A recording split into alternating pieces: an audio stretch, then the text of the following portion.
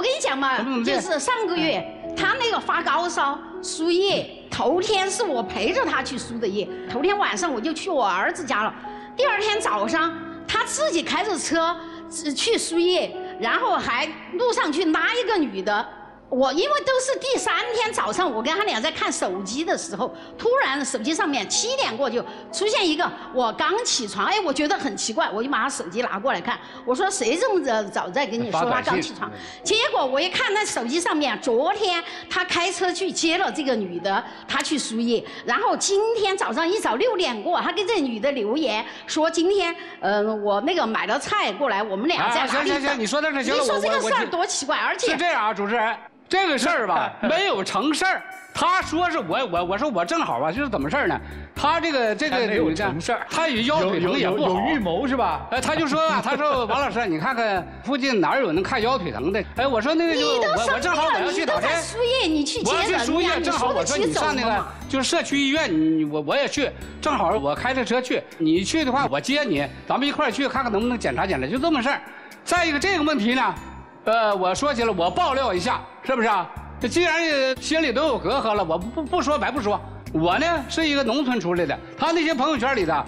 呃，都瞧不起我，就说闲道淡的都有了。说哎呀，一个外地人，说你跟他又没扯证，这也没有安全感的，你干脆离了。我给你介绍一个的，结果在前两年就这个事儿就发生了。有一天早晨，他的电话就响了，哎，他没接，不正常啊。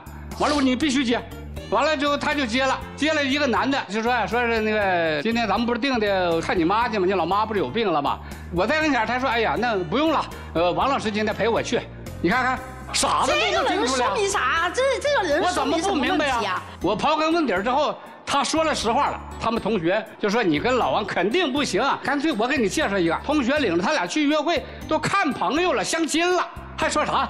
我这个事儿从南大哥我也忍了。后来他就怀疑我有女朋友了，这不就这么事儿？呃，听懂了，听懂了，两个人谁也没闲着。现在我听您的意思是希望跟他结婚，对吧？对，我是这样的，因为对，人家想跟你领证，你跟不跟人领？这不是简单吗？你说我怎么结吧这个婚？有隔阂了之后，最近就是我不是买了个车嘛，原来他那个朋友圈子里是个有房车协会，三四十万的房车，他们经常出去一块玩儿玩儿之后呢就玩上瘾了，就这么的，他们那个朋友圈朋友就劝他说你也买个房车得了，叫老王也学个车。哎，我说这挺好啊，我就学了，学了之后呢。他就想买房车，都是三四十万的。我说我这个买不起，后来我就抓紧速度，我就买了一个不到九万的小车，失去面子了。从打那跟我就沉默寡言了，没话说了。呃，咱回归到主题，您想领证，您不想领，是这意思吧？对对对，我现在还不想先领证，因为啥呢？这还分手吧，我行吗？分手这个问题我也没想过。有一个问题就是我发现啊，他每个月给他老婆六百块钱，他养着他老婆的，也就是说，如果我前妻说这哎说说好了，前妻不是老婆。如果我不跟他扯结婚证，他是有后路的。最近我们有一个朋友，他就得癌症了，因为他跟他老婆分手了嘛，得了癌症以后，他就回到老婆身边了。他就这件事情，他有时候要会跟我说。我现在担心的就是，其实我有一只眼睛是瞎的，我是那个视网膜脱落，前几年我看不清楚。我就想有一个老伴儿，以后我万一这只眼睛再瞎呢，我就啥都看不到了。我找一个老伴儿结了婚，比如说以后我眼睛瞎了，他会牵着我，对吧？如果他生病了，可以请个保姆，他可以指挥保姆照顾我俩。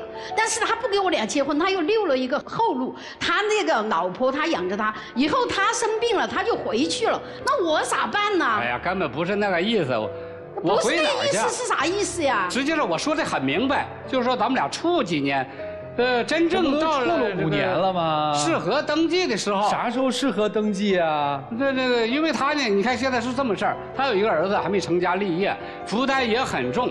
呃，我说你吧，把你儿子成家立业了，你能诚心跟我过日子了，咱俩呢，呃，这这天天全日制的能在一块儿了。你现在是半个月搁家两天、三天、五天，完了你出去旅游，你那个圈子里是不是出去旅游因？为我现在眼睛不好嘛，我能够看得见的时候，我就想赶快出去看看世界，对吗？